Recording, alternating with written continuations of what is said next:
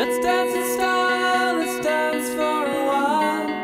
Heaven can wait, we're only watching the skies. Hoping for the best, but expecting the worst. Are you gonna drop the bomb or not?